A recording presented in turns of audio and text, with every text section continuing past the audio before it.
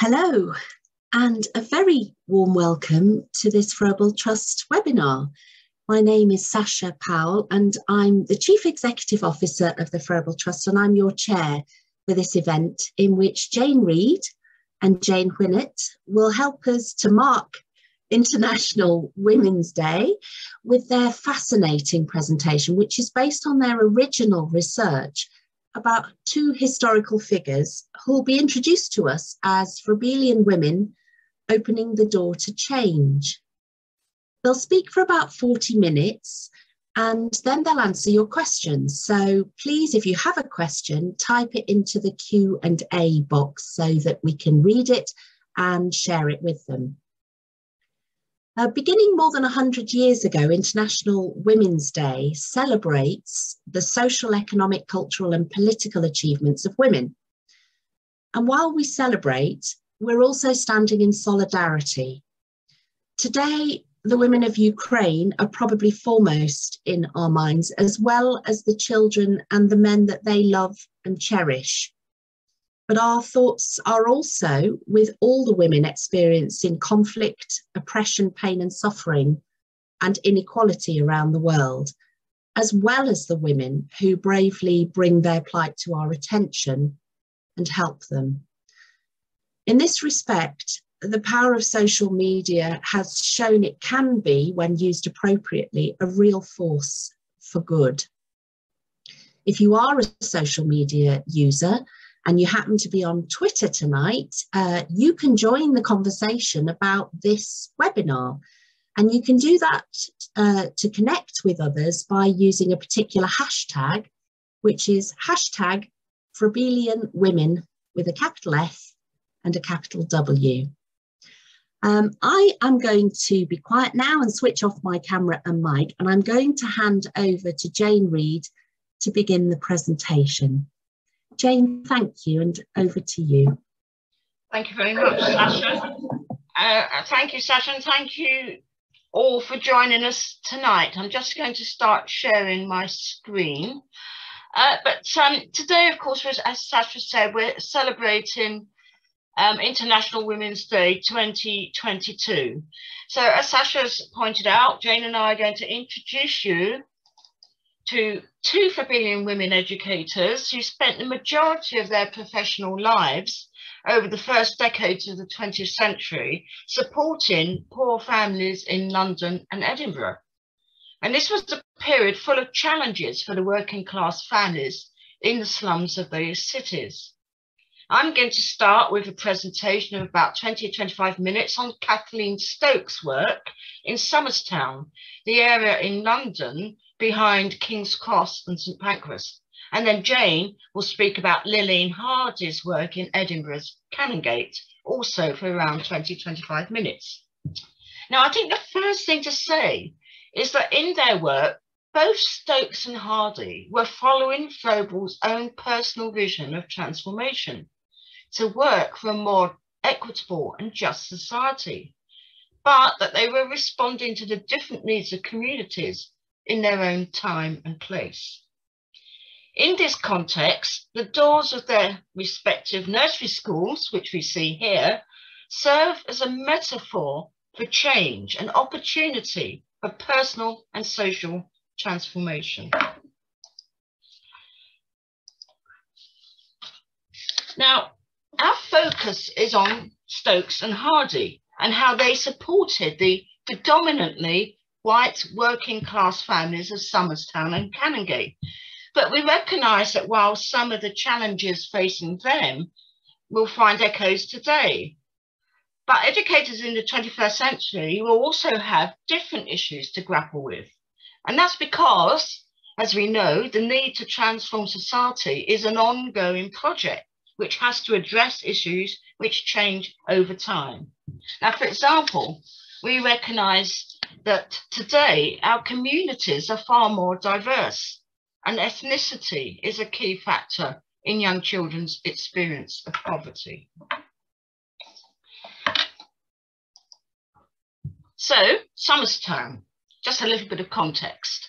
Somerstown Nursery School was located in the North London borough of Camden, and although by no means the largest of London's borough, boroughs, it was and remains an area of great diversity and inequality, with the wealthy wards of uh, uh, Hampstead and Highgate to the north, and the historically poor wards of Somerstown and St Pancras to the south.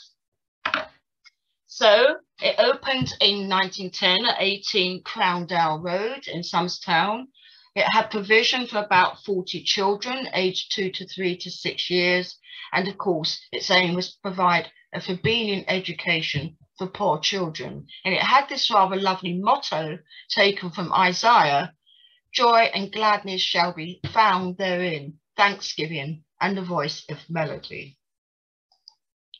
So why open a, summer, a nursery school in Somerstown. What were the challenges facing the families Kathleen Stokes worked with at the beginning of the 20th century? What we find is that families were experiencing long periods of either unemployment or sporadic employment. And this meant that there was no secure regular income to pay for food, to pay for housing, to pay for healthcare. However, these structural issues were often ignored and instead working class families were blamed for their incompetence, for their ignorance in bringing up their children. And this was at a time that of a fear that the British race was in physical and moral decline, and the eugenics movement was proposing control of reproduction by so-called weak members of society. Now, in Somerstown, um, there were support services, but there was no national, there was no welfare state, there was no health service, national health service, there was no comprehensive national insurance system to cover families when illness prevented work. The mother and babies clinics that we have today didn't exist in 1910 and only began to appear from about 1913 to 14, although there was one local exception, which I'll come back to later. And for children, there were no playgrounds, there were no safe spaces for play. Their play spaces were the streets and the gutters. So the intention was um, to nurture the children's bodies as well as their minds, and also to provide a moral framework to counteract the perceived effects, ill effects of their upbringing. And also, the nursery schools, a further intention of the nursery school was to provide an alternative to the state education provided for young children in infant schools at that time. So although there were some infant school teachers in London who had taken the Froebel training provided by the London County Council, and Froebel's gifts could be found in some infant schools, as we see in these uh, photos, there is not much evidence to suggest that Froebel's principles were widely understood. And most of the students who attended the Froebel Educational Institute in London went on to teach in private schools and kindergartens. So uh, children were confined in crowded gallery classrooms and learnt largely by rote. And with the Froebel gifts, the focus was on copying the teacher's construction with no room for imagination or creativity. Esther Lawrence, the second principal of Froebel Educational Institute, was the driving force behind the foundation of Somerstown Nursery School. And she had previously opened the Michaelis Free Kindergarten in Notting Hill, London in 1908. And Lawrence's vision was to transform the lives of poor children through providing a Froebelian education which would give them opportunities for growth and that was an optimistic vision. And Lawrence used her position as principal of FEI to encourage students to support her two schools through fundraising and volunteering to help during the school's summer holidays. The nursery school's first mistress in charge was Connie Dent, and she had been a student at uh, FEI um, from 1897 to 1898 under the college's first principal, Madame Emily Michaelis.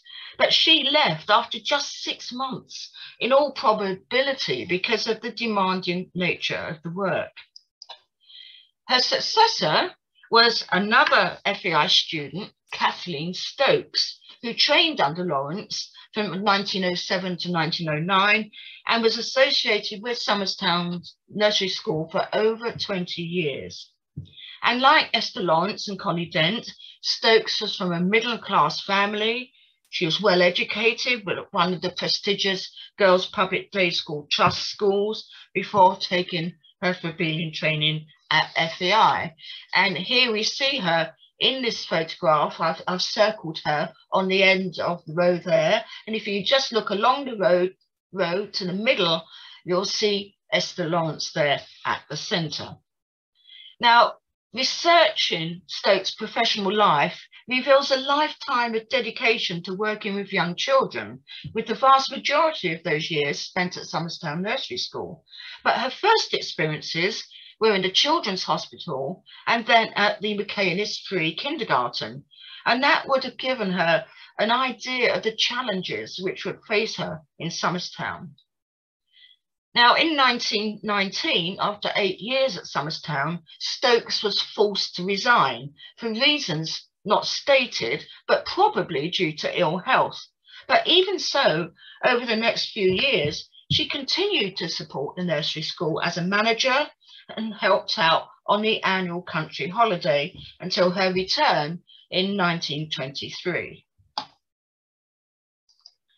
So, what were the opportunities that the nursery school gave children? That opening of the door to a different life. Well, as we might expect to see in a Froebelian nursery school, the timetable lists periods of free play, free construction, sorry, free occupations, games, singing, caring for plants and animals, as well as looking after the house and the garden. Now, although the children had opportunities for play and activities in the nursery school garden, and as we see, it had a lovely large climbing frame, it was actually quite small. So the children were taken to Regent's Park and Hampstead Heath with the wide variety of experiences that, that those large open spaces could provide. And there were also special occasions which the children enjoyed. For example, when Queen Mary visited uh, FEI at Roehampton in 1923, 12 of the nursery school children were taken up to Roehampton and we were, were reported to be very good and happy and very proud of having seen the Queen. The children and their mothers also visited Roehampton for the annual Christmas parties, which Esther Lawrence laid on there uh, for the children and the mothers. Now, also, as we see from the timetable, there's, it highlights the concern for the physical care of the children.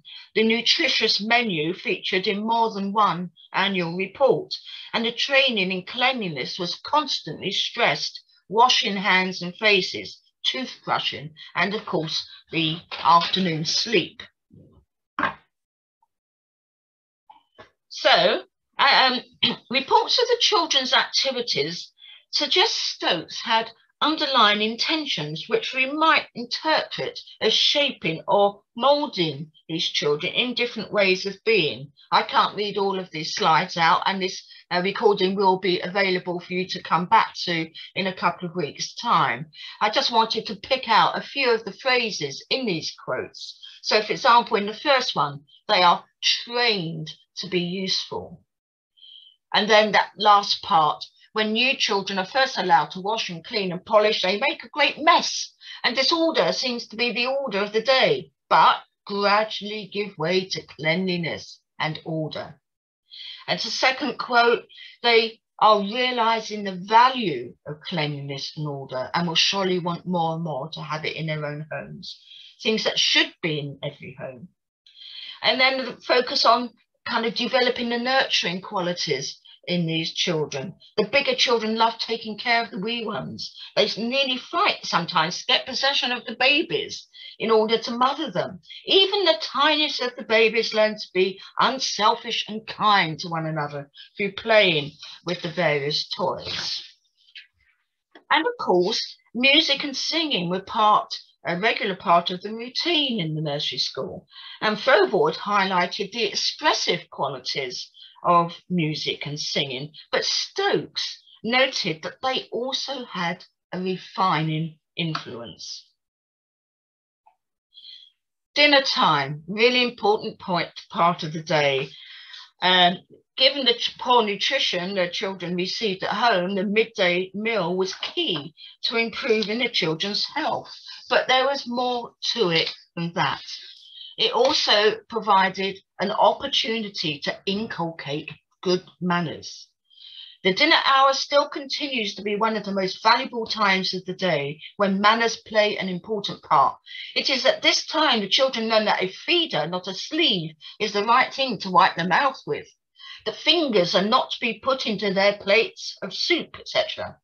A little waiter is chosen for each table every day who is responsible for good behaviour at that table and must see that all are served before sitting down to his or her own dinner.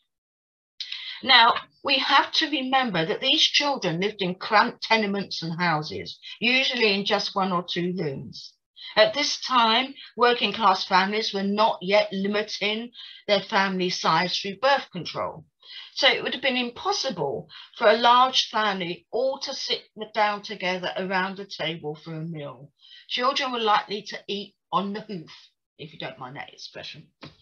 In contrast, as we see in these photos, at the nursery school, children would sit at tables, they would be served by other children, there were tablecloths, plates, cutlery, flowers, and the meal was followed by washing up and, of course, toothbrushing. Nature study, outdoor play, and care for the children's physical health came together in the summer holidays with long days spent in the country in the open air away from the crowded polluted london streets. Children would spend up to a month there and the school was fortunate in having its very own holiday home summers cottage in sussex some of the mothers went with the staff to help look after the children, cleaning the house and cooking, and also FEI students would also sometimes go to help. Now, in the early years of the nursery school, summer holidays with going to the seaside had not yet become part of working class family tradition. Apart from anything else, money was scarce in Somerstown, Somerstown's families for such outings, so we can imagine the reaction of the children to leaving their familiar surroundings, described by Caroline Lawrence when she looked back in 1931. The children were taken by their mothers to one of the big London stations where they were met by my sister and myself, who were responsible for their transit. As the mothers left them shortly before the train started, prolonged screams rent the air Passengers rushed from their carriages, indignant with the people who must be ill using these poor little children, who were going to be given such a happy time in the country. Most of the screams were not of long duration. Now, apart from the cottage itself in Sussex, there were outbuildings and nearly four acres of land, including meadows, woodland, an orchard and a stream. And the experiences the children enjoyed had a lasting effect. I can't see the top of this one. Uh, right. I can't read the top line of this one, but uh, it's still talked about continually. These joys entered into all the work of the nursery and helped the children for months to retain a breath of the country in their London surroundings. They realised much from that visit. Cows now have horns. Wasps have wings and fly. Alas, they sting also. Hens sit on eggs, an almost unbelievable thing. Fishes, newts, tadpoles were all met with and greeted as friends. Children and helpers alike returned home full of health and vigour and longing for the next time.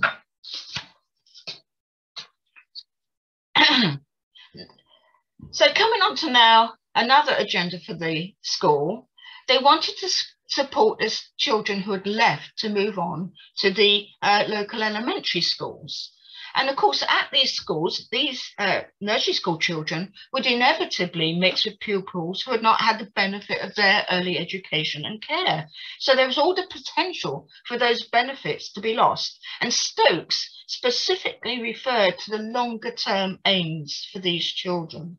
The nursery school not only cares for the children while they are under its roof, but seeks to strengthen and train them so that they may be more capable of fighting their own battles later on and of fighting them wisely and well. And to support the past children, Stokes set up an old children's guild, which met weekly. And the children were encouraged. Um, they had uh, wolf cubs and brownie packs, and they were encouraged to, to save money through the post office savings bank. They prepared meals for themselves and cleared them away. They did handwork, they played games, and as we can see in this photo, they were also able to pay a visit to the um, holiday home.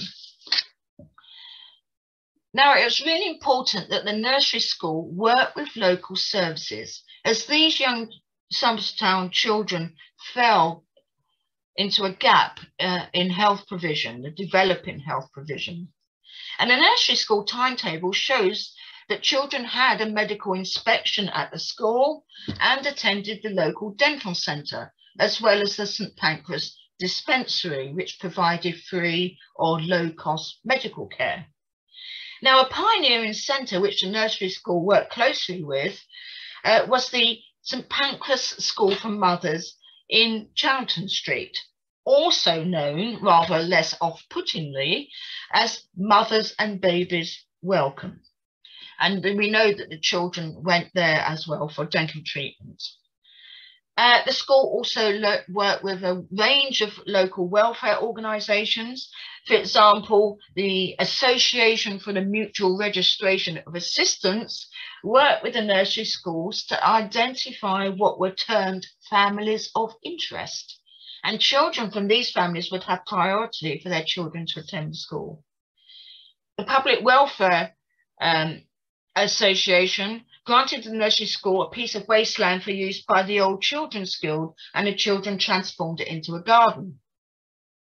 During and after World War I, when food supplies were short, the school was support, supported by the St Pancras uh, Food Control Office, they helped the school to fill in the necessary request forms and ensured the particular food needed by young children was supplied. Transformation of working class family life, particularly education of mothers in the virtues of cleanliness and care, was a central objective of the nursery school. But even so, this characterisation of family life in Somerstown is remarkably harsh and echoes those contemporary critiques of working class families I referred to earlier. Um, I can see that I'm going to have to move more quickly through, so I won't read that quote. It's there for you to see subsequently.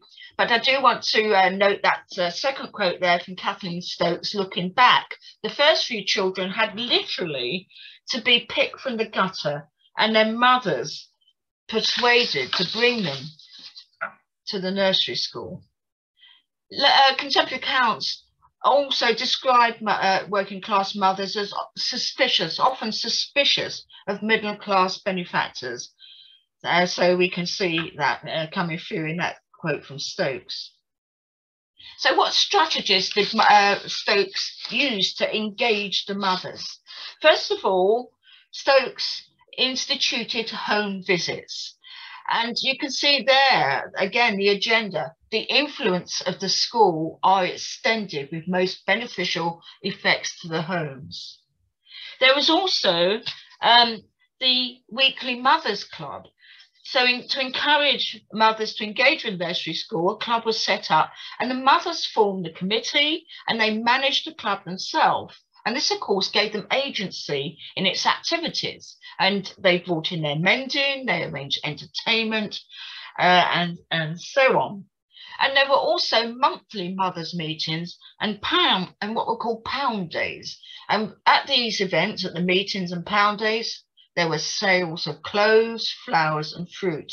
And I rather like this uh, quote here. The clothes were sold cheaply enough to enable the mothers to buy changes of clothes for their children. So we can see there what some of the agendas behind this. And then, of course, when it comes to looking at the success of the nursery school, how do we measure it? So the annual report claims that more and more mothers take pains to send their children to school clean and tidy. The mothers are learning to appreciate more and more the training their children receive at the nursery school. One mother said it is not so much the lessons they learn as the nice ways they are taught. That is what has been the making of my children.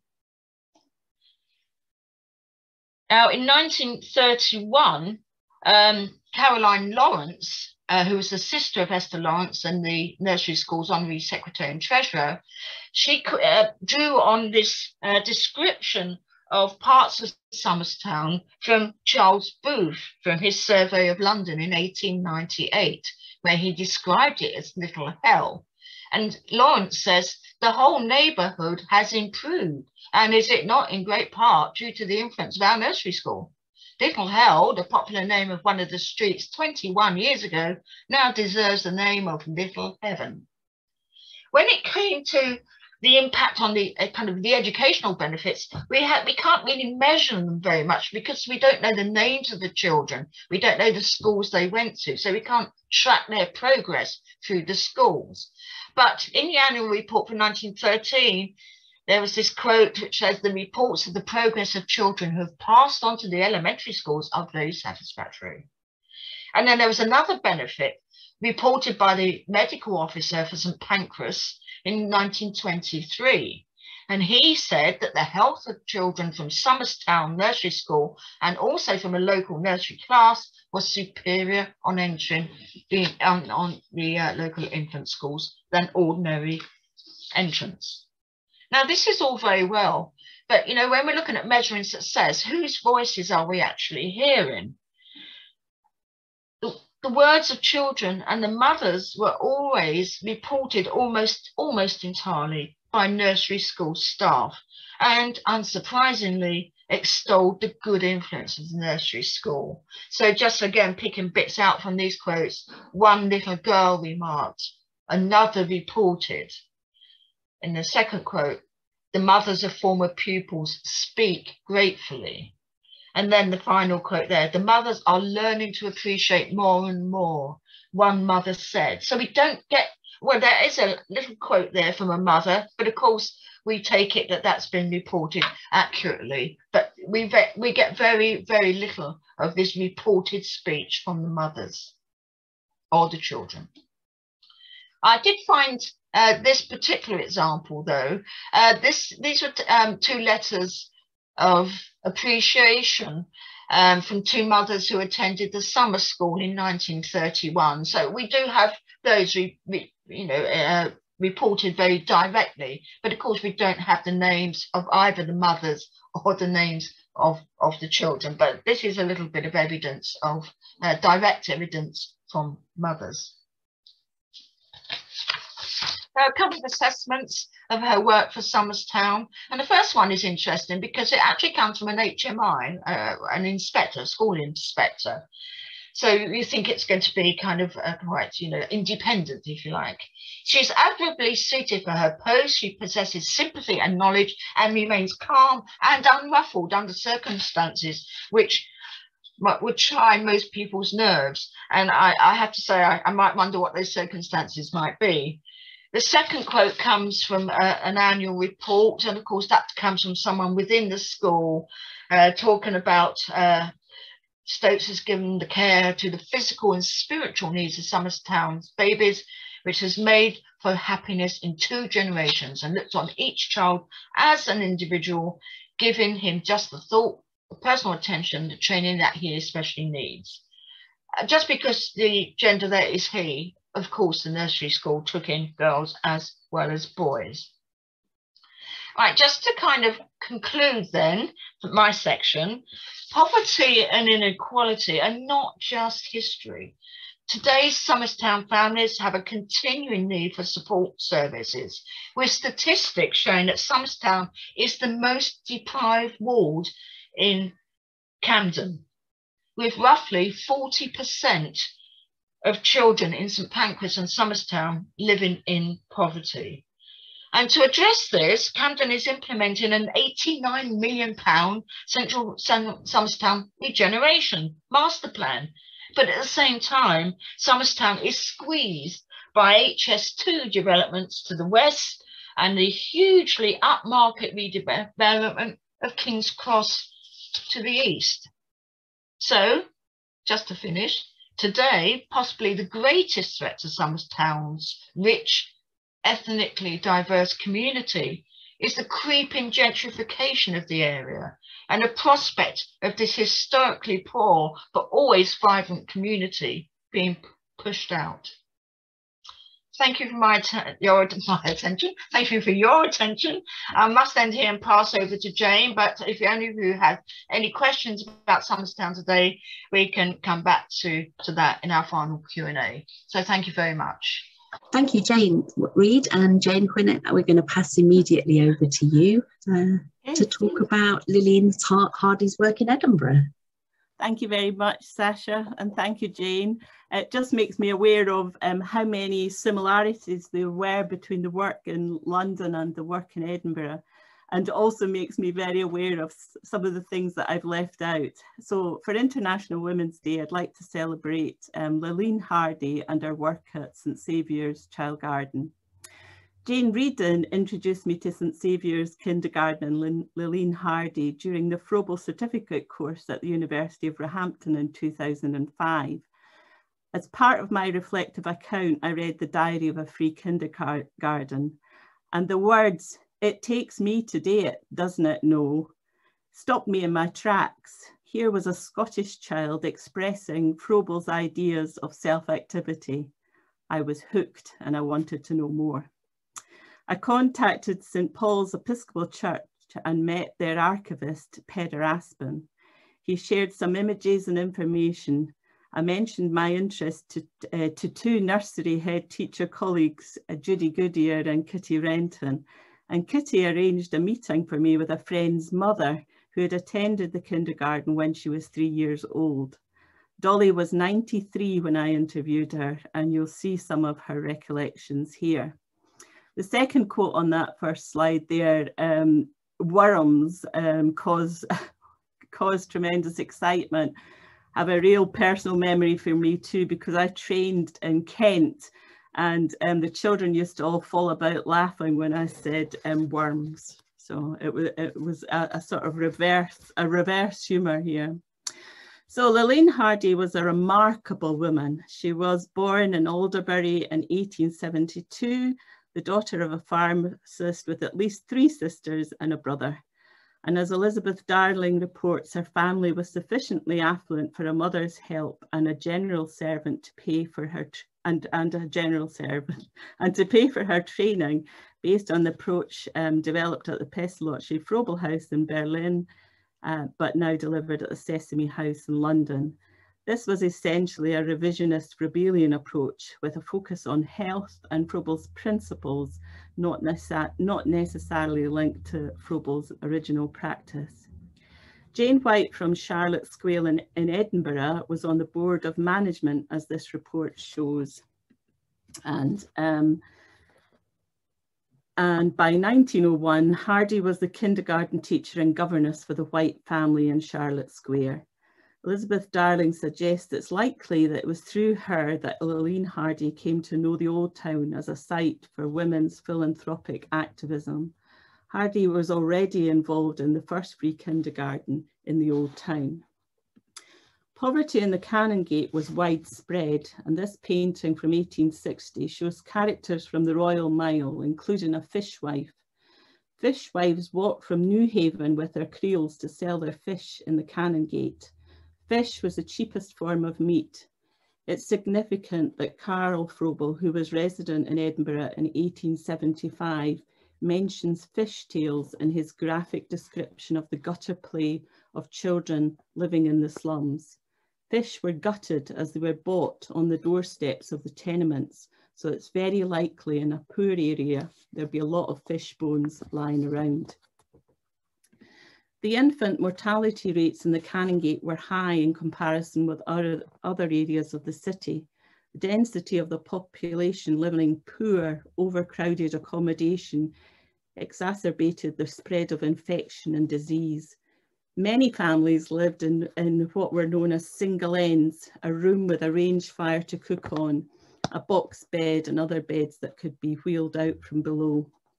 1861 census showed that 226,000 families in Scotland lived in one-room houses. 71% of Scottish homes had two rooms or less and housed 64% of the population. The tenements were divided and subdivided. And then in Edinburgh, there could be as many as 15 people living in one room, um, an average of five people live in a room um, with very little access to uh, fresh water or toilets. So Knox um, reports the most common causes of death in Scotland as diseases of the brain and nervous system, diseases of the respiratory system, diseases of the heart, diseases of the digestive organs, and epidemic and contagious um, diseases. So looking at a map of the Canongate um, around the area where um, St Saviour's was, we can see the proliferation of breweries uh, where many of the fathers would have been in work. There are references to the impact of alcohol on family life in the diary, including a description of a child playing drunk.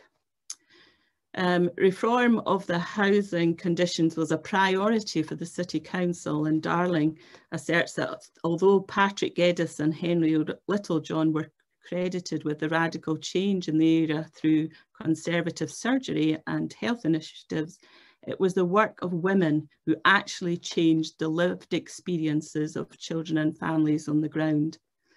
Geddes's work on green spaces, knocking down buildings in the worst conditions and regenerating housing stock with a radical policy of rich and poor living alongside each other. Geddes and his family lived among the other inhabitants of the Royal Mile. Hilton and Hirsch described the women who made these changes happen as practical visionaries and according to Kevin Brehony, the notion that poverty was a structural condition related to casual labour, unemployment, and the downturns in economic cycles endemic to capitalism was not one that the free kindergartens were familiar with. Environmental explanation, it's true, did sometimes appear, as when Lileen Hardy wrote of the mothers of the children who attended her kindergarten that with the cramped house space, burdened restricted lives and big families, it's hardly to be expected that they will have energy, insight, time and patience to train their children. This empathy with the poor was unusual. So the annual reports of St Saviour's Children Gard Gardens show um, the title, A Contribution to the Slum Problem in Edinburgh. Um, and Jane Read speaks about the relocating the play from the gutter into the kindergarten because um, children were perceived to be at risk and also a risk. So Old St Paul's Church already had a settlement and dispensary and the uh, kindergarten opened in November um, 1906 and moved to Chessels Court in 1908. Conditions of the Canongate are described in the handwritten and hand-produced illustrated pamphlet shown here. There was a constant search for funding to continue the work. Kristen Nawrotzki um, describes how Hardy borrowed Wiggin's um, successful funding strategy, calling it artistic fictions.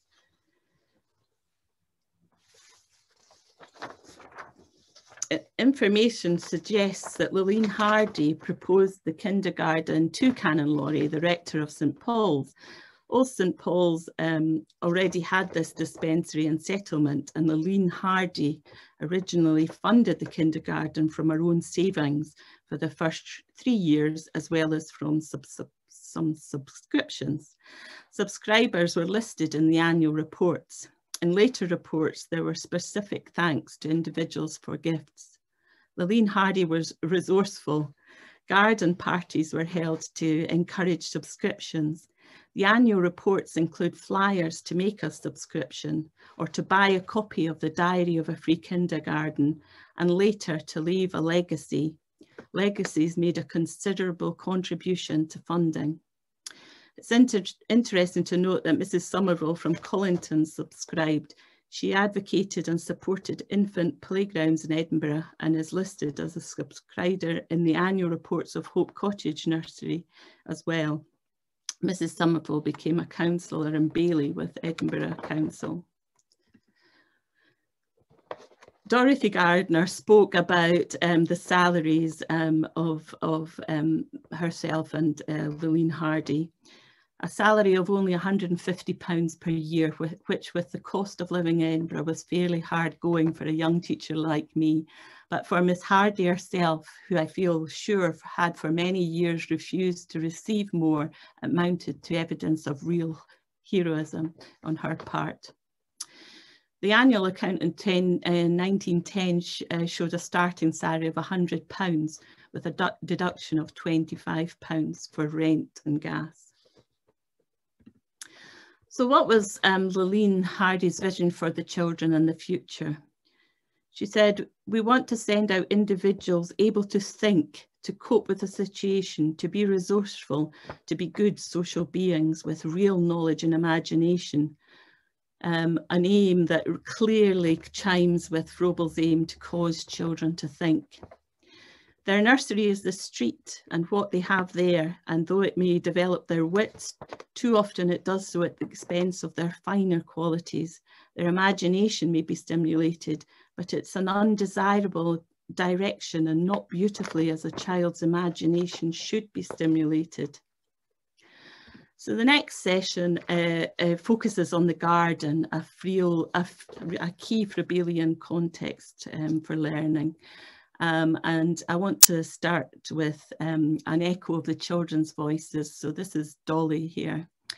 I remember playing a lot in the garden. We played a lot down there in that first garden. I think the first garden had all the flowers. I remember the lower one never had much and we used to cut the hedge. We, we had ordinary scissors and you just had to cut what you could with it because they wouldn't give you big ones. We used to sew and make things. You never did nothing.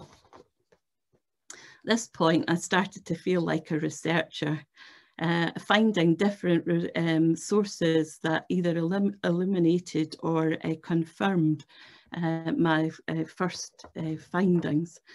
So um, Hardy wrote to Patrick Geddes and, you know, always follow up with a letter uh, to return his notes and to take the opportunity to remind him of her wish list.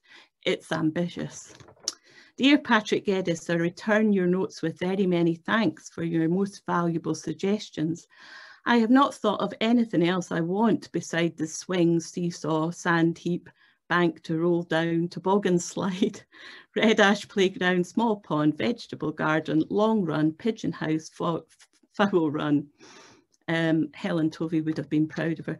But I feel I ought not to take your time for another minute, for I'm afraid the funds will never run to a quarter of all these delightful things thanking you very heartily for the help you have been. Yours very sincerely, Lileen W. Hardy.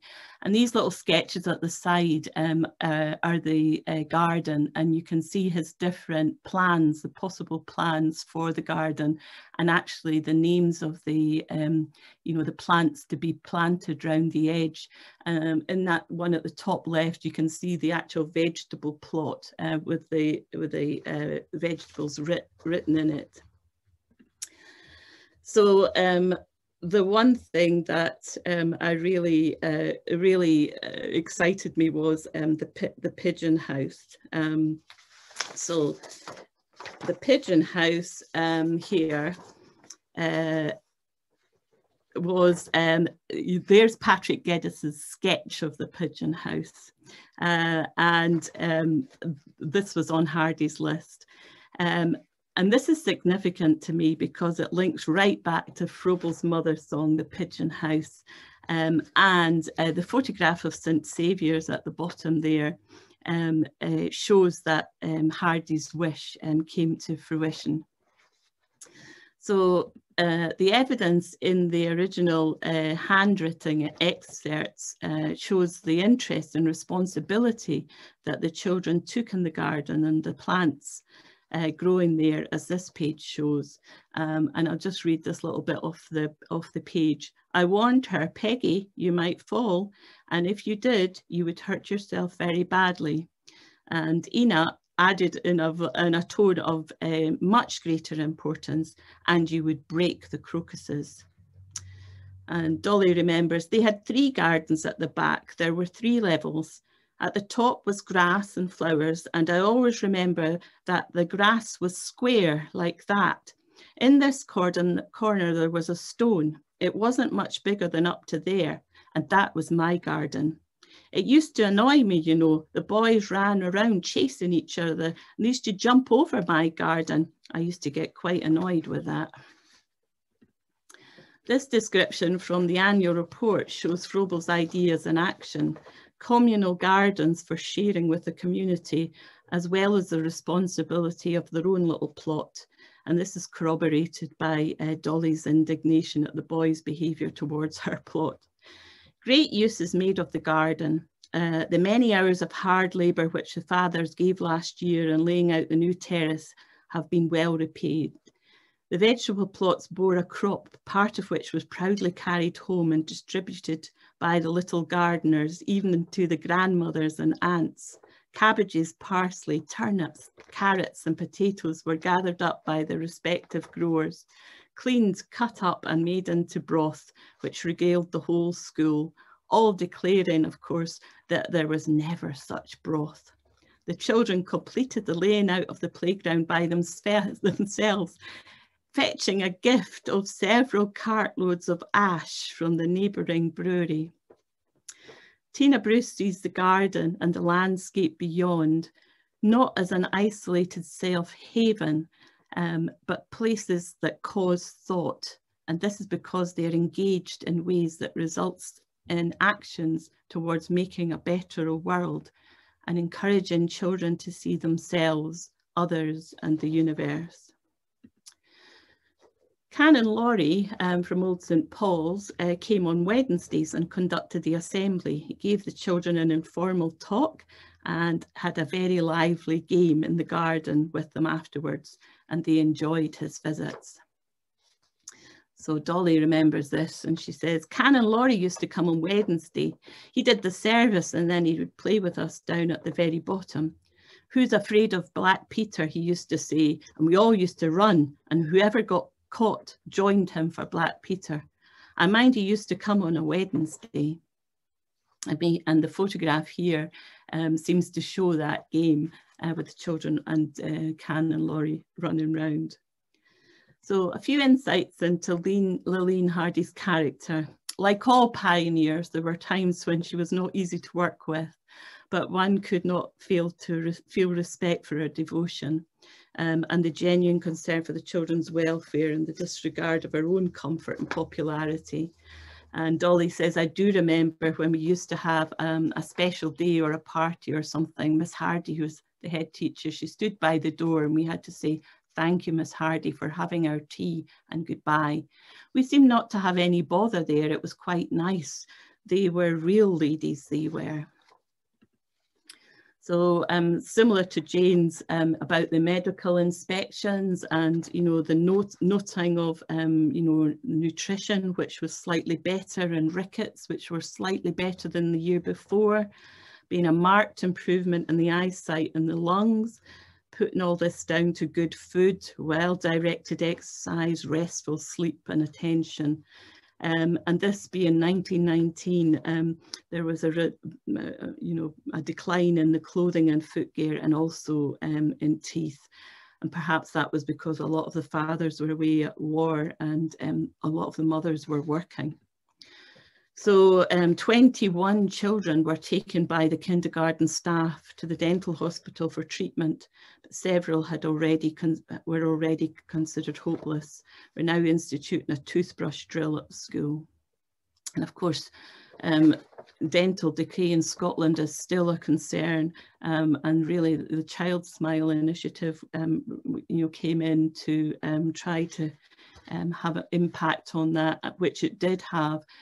Uh, but most recent uh, research um, during uh, on the impact on children of COVID, um, you know, is raising concerns about children's um, dental health. Also, infection control is no new thing. Um, here's a page from the original uh, photo album. It's, uh, it's, called This is the Way We Wash Our Hands. Um, and we can see here too that, you know, it talks about the every room is thoroughly sprayed with disinfectant twice daily and Nurse Thistle inspects each day, every morning. So I feel like there's nothing new um, under the sun. Just a quick look at data from the um, uh, Scottish Index of Multiple Deprivation. We see that Canongate continues to be an area where the domain uh, of deprivation and housing, crime rate and education skills score poorly, in spite of the fact we've got Scottish Parliament right at the bottom of the hill. Um, so the Old Town Community Report um, tells us also about the occupation of um, the and, and accommodation there. In contrast to Lileen Hardy's day, single occupancy now tends to be with students. Um, we see that there continues to be um, you know, uh, a high number of children with um, free uh, school meals, um, a significant difference in, um, the number of ethnic minority children um, living in the area, um, and a considerable number of children with additional support needs. So quick note about what um, the Scottish Government is um, does to help um, nowadays, um, looking at the kinds of um, universal offers that are made uh, for young children um, and their families. Um, and there continues to be, um, um, you know, community support within the Canongate area from uh, the Cranny so go back to Miss Hardy. Um, we know that her health was um, failing, um, that she um, retired in 1927. She still took a very keen interest in what was happening in um, the kindergarten uh, for years afterwards. Um, this is a postcard that she sent from um, when she was on abroad. She was keen to keep in touch with families that she'd worked with. I send with this with many good wishes to all the family. I was delighted to hear of little Annie's son.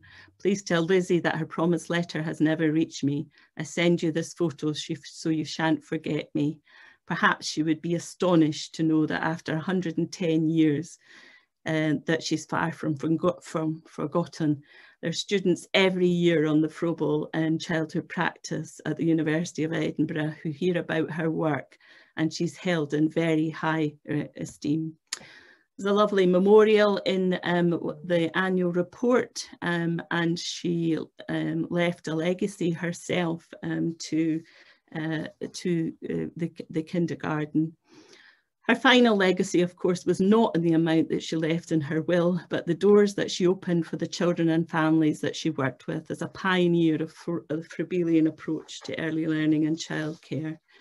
Um, and we can see here uh, both a bit about the Original Education Act, but also um, just finish with what um, the free kindergarteners did was to illustrate, along with many others, the necessity for state action to ameliorate the, the lot of the slum child. They also managed to install at the heart of early years education the notion that its concern for the whole child was not just its cognitive abilities. And of course, there are still Froebelian women in the old town um, still doing uh, fantastic work, uh, particularly my colleague, uh, Dr. Lynn McNair, head of Cowgate Under Fives. So many thanks to all the archivists and um, people who helped me uh, to find, to put these together. Sorry, it was a bit of a rush at the end. thank you very much, Jane. And, and thank you for putting up um, both the details of the archives and the archivists who helped you, because that was one of my questions, um, but also for sharing um, your um, uh, references at the end, which I know will be incredibly helpful to everyone. I don't know if Jane Read, are you there? Do you want to, to come back and join us? Put your video. Uh, there she is. Hello. Oh, I've, I've been paying a great deal of attention to everything that's been going on. Thank you both very much. There were there were lots of um, parallels, echoes uh, with the past when we think about today. There are so many connections, aren't there, really? And it was wonderful to hear about these two women who, uh, uh, as you said just now, Jane, were really pioneering. Um, the role of those uh, women working in early years who are drawing attention to the need for state support for the kind of welfare state approach to early childhood education for all children, all young children. Um, so thank you for, for bringing that to our attention, along with the many other fascinating facts that you've shared with us. Those, if I may. Um, first of all, I want to say uh, thank you to Rianne Ferguson. Rianne has asked whether um, the staff who weren't teachers, in inverted commas, had to have some kind of qualification or experience to be able to work with the children in those days, or whether that was not a particular requirement. I think there was both. Um, at St. there was some um, some people who definitely had trained um, and others who were volunteers um, from a local um, yeah uh, so yeah so both i don't yeah, know I, I, would say the same at Somers Town um, mm. certainly um, in one of the annual reports the assistant is listed as a, a trained kindergarten teacher uh, and they also had students who went in to help there as well, both from Froebel, but from other training colleges as well. But on the whole, um, there's not a lot of information. I mean, sometimes the name of the assistant is given, but nothing else. But as I say, in a couple of instances, they are referred to as, as trained kindergarten teachers. And of course, Kathleen Stokes was a Froebel trained teacher, as was mm. Connie Dent. Mm, thank you. Um, I'm going to, to dive in quickly with another question because we are short of time. Um, we have actually two questions from Elizabeth Darling. Thank you, Elizabeth, for your questions. Uh, she says, first of all, thank you for your fascinating papers. And um, she asks if you know, uh, Jane, what dates Dolly attended SSCG? I don't know off the top of my head. I might be able to work it out. She, um, because she was um, she was one of the early ones, um, and she stayed until she was um, I think seven or eight. Um, so I, I should be able to work that out. Um, okay. And, and, be able to email you, um, you Elizabeth. Thank yeah. you very much. Well, I'll move on to Elizabeth's second question, which is whether Kathleen Stokes had connections with or was consulted by the women involved in the St Pancras House Improvement Society around uh, founded in 1919, which built housing. Oh, yeah. It incorporated a nursery school on one of the blocks. Yes, that was St Christopher's Rooftop Nursery that opened about 1931. And I think that's a, I, I did see that question come up, Elizabeth. It's a very good question because actually I'm involved in um, the People's Museum project in Somers Town. So it's absolutely fascinating because the annual reports make absolutely no reference to the that uh, the kind of social housing that was being built in in Somers Town in the 20s and 30s none whatsoever. And that really surprised me. Somers Town was there she's going Crowndale Road was slightly to the north but even so it given that they work with the uh, uh, the mothers and babies welcoming Charlton Street, which is right by uh, the kind of new housing that was being put up there. Um, it, it's, it's actually uh, amazing that I, I haven't, there's no reference to it in the annual reports. And of course, that is the only records that I've come across about the nursery school so far, which is what I've drawn on most substantially for this research. Fascinating question. And I will renew my efforts uh, and ask some of my colleagues who are involved in that uh, Town People's Museum project. Sounds great, thank you. And, and perhaps we can share a link to that project on the Froebel Trust website to give a little bit more yes, information. Yes, I will. Yeah. Thank you. Um, we're almost out of time. I'm just going to try and squeeze in uh, one more question, which I think is quite a hard one. Do you think the children had richer experiences then compared to now? It's a bit difficult because there's such a diversity of children's experiences now.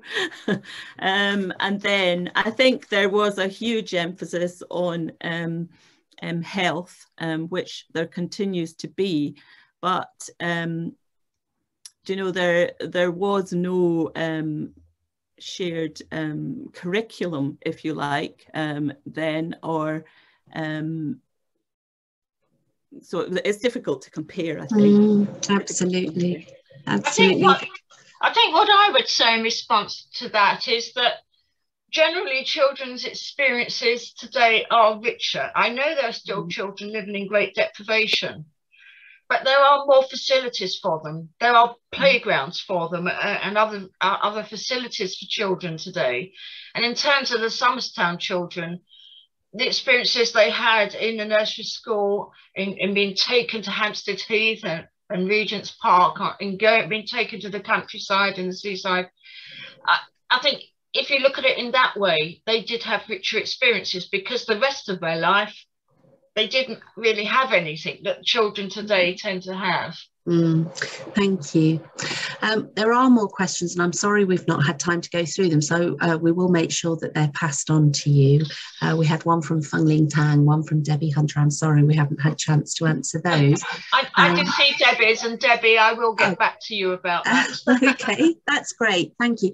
Um, well, Jane, Jane, thank you both for an absolutely wonderfully fascinating historical presentation. I think it's been a great celebration for International Women's Day. Um, if this has whetted your appetite and you want to know about more Froebelian women, there is this wonderful book um, which Jane Read has edited with Amy Palmer. And um, you should have received the details of a 20% discount code if you'd like to buy that book or borrow it from a library, get it on interlibrary loan. I encourage you to read that. And if you're able to join us at any of our subsequent webinars, that would be lovely to see you. So I just wish you all um, a very happy and safe International Women's Day. And thank you very much for joining us tonight. And we hope you have a good rest of the day or evening. Take care, everyone. Thank you. Thank you. Bye-bye. Thanks. Bye.